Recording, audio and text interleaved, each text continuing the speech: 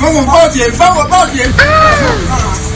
帮我报警！啊，这样我来讲，这公司大家拢有啊，帮我报警！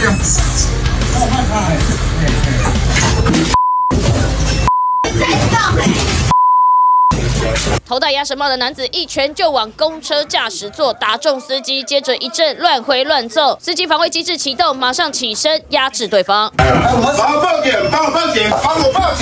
帮我报警！司机一把就将男子压在地上，并且出脚踩在对方的胸前和脖子，但男子还不断挣扎。帮我报警！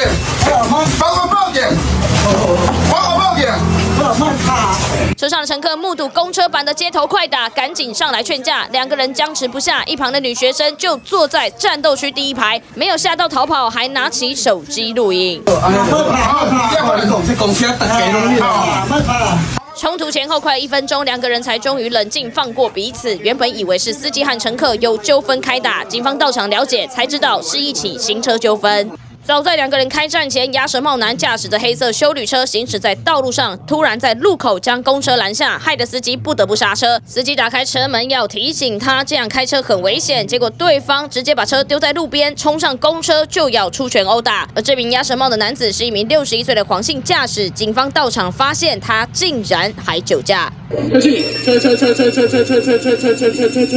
好。事发在台中北区五泉路柳川东路四段，三月一号早上七点多。黄姓驾驶一大早醉醺醺开车上路，陈姓司机驾驶着五二五路线的公车。他发现黄姓驾驶在路上蛇行乱切，好心提醒他这样开车很危险。没想到对方不满司机的态度，当街拦下公车，还冲上去揍人。其实讲实在的是，我们被攻击是应该是嫌呐，哈，这个这个，而且对方是酒驾，事情我要怎么处理？